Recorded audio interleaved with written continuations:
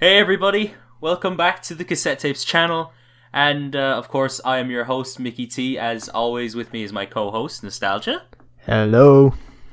And welcome to the aforementioned brand new series that we've been doing, that we've been planning to do for a good while now. We've basically decided why not just try branch off a little bit from the podcast format and do something just a little bit more casual, like like generally about one particular album.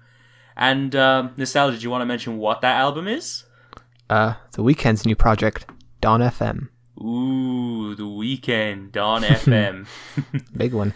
It's a big one. I'm actually really surprised that we got a really big project like this already. Yeah. Like, first week of the year, especially. Yeah. Like, damn, this just came out of nowhere, really. It's kind of in character for the Weeknd. He's a little off kilter these days, and I it's exciting. I like it.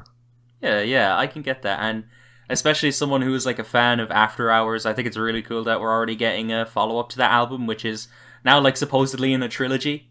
I think there's Mm, supposed to be like yeah. a third one coming out in this whole like 80s like exploration.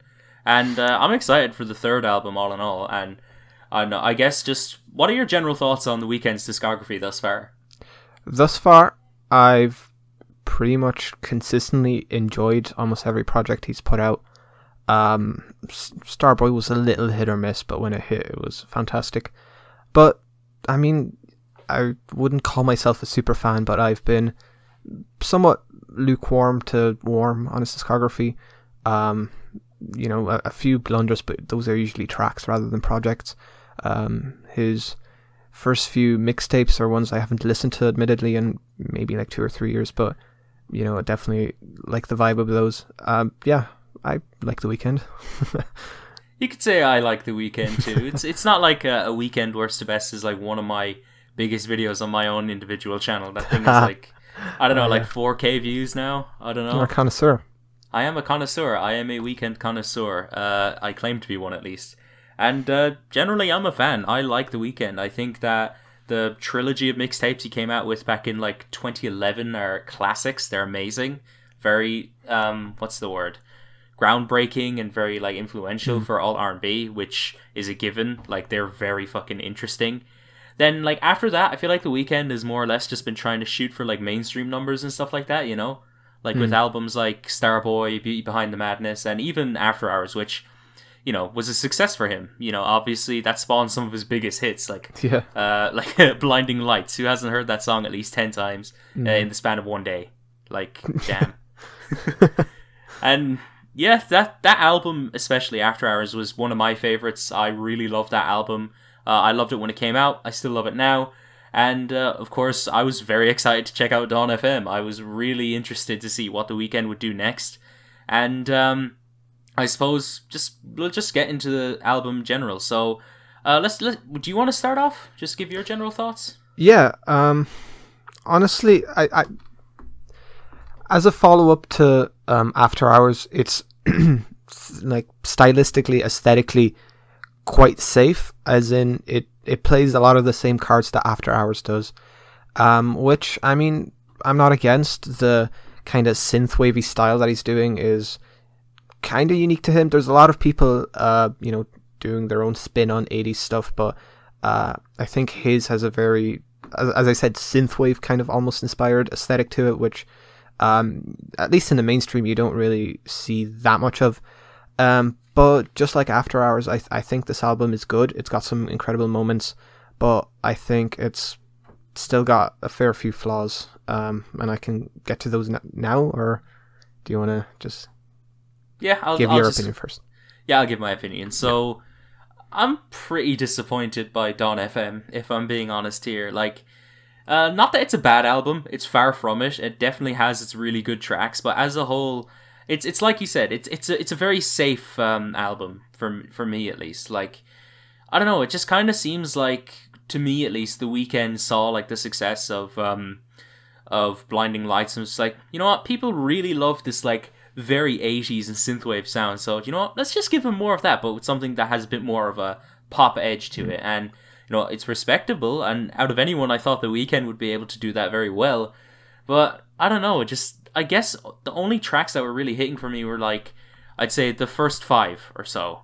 And then after that, it just kind of stagnates into like this really safe bit of like uh, 80s like sounding pastiche in a way, you know, with Mm. tracks that just aren't really that memorable or interesting. And honestly, this is probably going to come off as a really hot take for a lot of fans of the Weeknd. But honestly, I think Dawn FM is his worst album, and I'm being Oh. dead serious about that.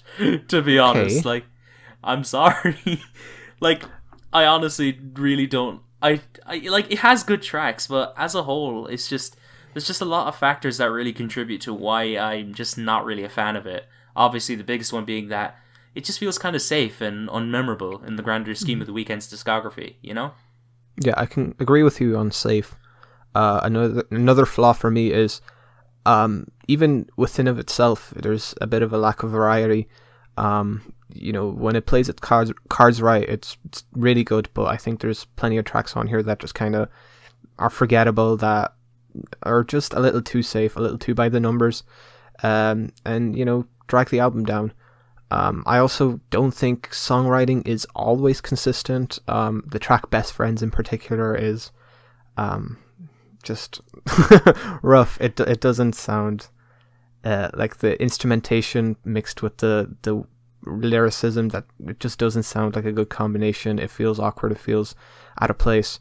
Um, but generally, I think, despite its flaws, I think the highlights make up for it. And the concept is, I mean, while obviously not unique, um, it's it still I think is executed well, especially when it comes to the aesthetic.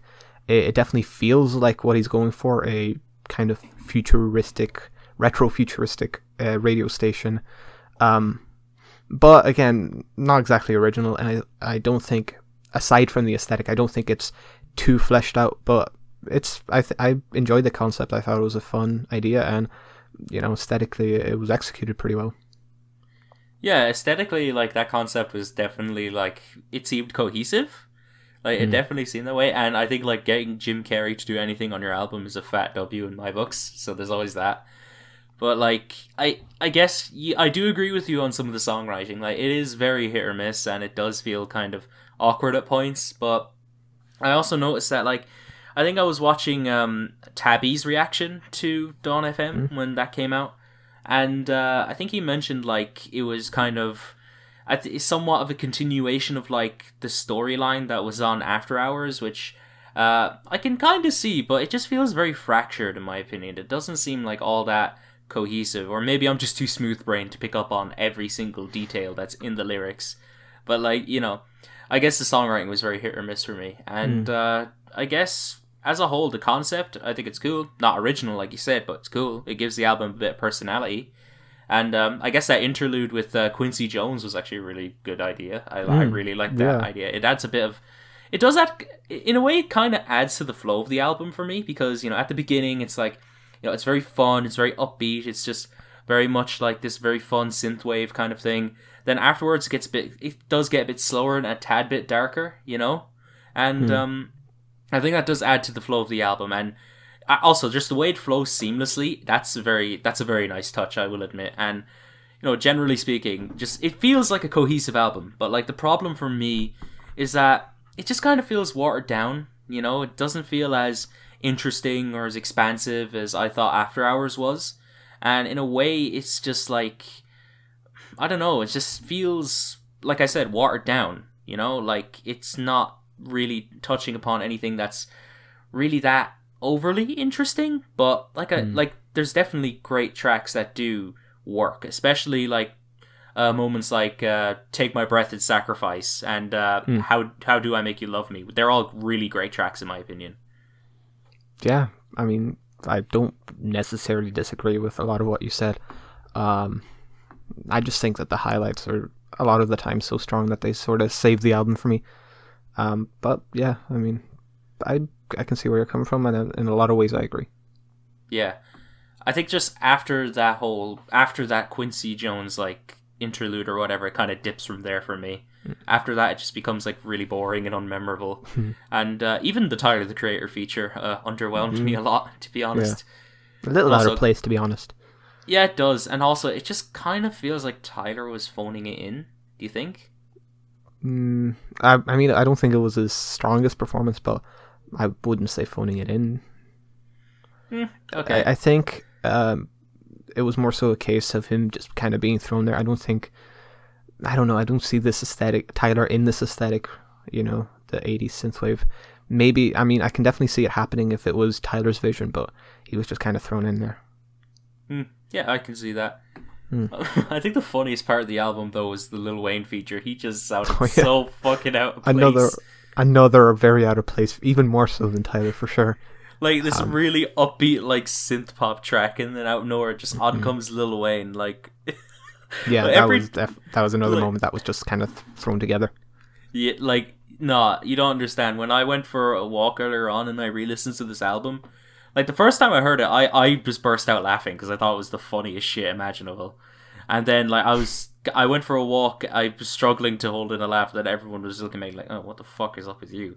like Jesus Christ, I felt so weird in public. But this is what like out of place Lil Wayne features does to me. Like it's so mm. funny. Oh, Yeah. like I have nothing Not more to add there. Yeah, it's not the first one. Yeah, that's for sure. That oh, is this a reference to Weezer? yep. Oh, fuck's sake. Uh, do you have anything more to add? No, honestly, no. No. Overall, I guess just overall, yeah, like I said, I was fairly disappointed with Dawn FM, and I know I'm probably going to get shit for this, but honestly, I think it's his worst album by far. I definitely took less highlights from this album than I did with a lot of his other stuff. And as a whole, for me, it just feels like like the safest possible way that the Weeknd could have explored uh, his 80s like aesthetic or whatever. And honestly, yeah, that's it. I'm just pretty disappointed. I don't find it all that memorable. There's definitely worthwhile tracks, but you know, they don't really save the album from being this kind of like ov- overly like sloggy, kind of overly polished uh kind of a just a slog really, you know? Um, yeah, I mean, I agree a lot with a lot of what you said, but I'm still pretty lukewarm on the project overall. Um, do you want to get to best and worst tracks? Yeah. All right. Some of my favorite tracks from Dawn FM are "How Do I Make You Love Me," "Take My Breath," and "Sacrifice."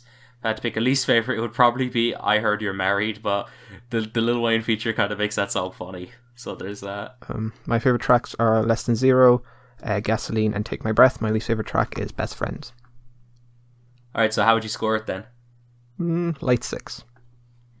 I'm feeling kind of a, I think a strong five. Thank you guys so much for watching today's uh, album discussion about Dawn FM. We really hope that you enjoyed.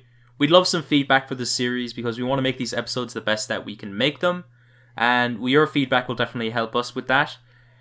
Of course, necessary links will be in the description to our general stuff, our own YouTube channels, our album of the year, rate your music pages, as well as the cassette tapes Discord, which you, which you should definitely get to. And uh, you have anything to say, Nostalgia? Um, eat your veggies. Yeah, eat your veggies, kids. Don't be like me. Eat your veggies. Anyways, I've been Micky T. I've been Nostalgia. Peace. Peace and love.